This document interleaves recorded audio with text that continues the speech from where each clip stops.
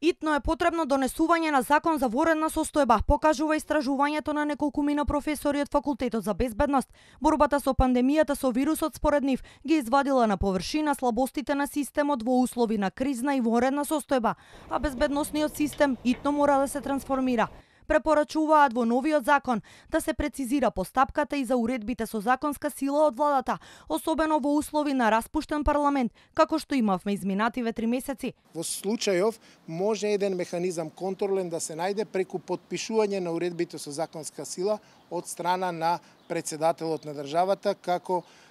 институција која прогласува воредна состојба и една степен на контрола ќе биде во спроведувањето на овие уредби. Во изминатите три месеци недостасуваше јавниот диалог помеѓу верските заедници и религиозните групи и во случај сметам дека потврли надлежната комисија за односи со верските заедници Безбедносните експерти сметаат дека мора да се регулира улогата на Бирото за јавна безбедност и Агенцијата за разузнавање, особено за раководењето на полицијата, но и казнената политика за полициски час. Особено потврли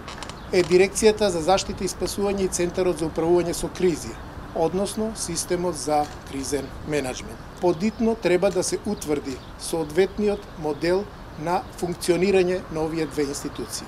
Дали истите ќе бидат споени со една агенција, односно дирекција, или пак ќе се формира посебно Министерство за кризен менеджмент, треба дополнително да се утврди требно и формирање на посебни сили за цивилна заштита. Анализата на професорите од безбедност покажува дека мора да има поголема соработка меѓу армијата и полицијата во воредна и кризна состојба, како и заедничка команда, а во предлог законот да се дадат јасни поголеми надлежности на локалната самоуправа во услови на криза.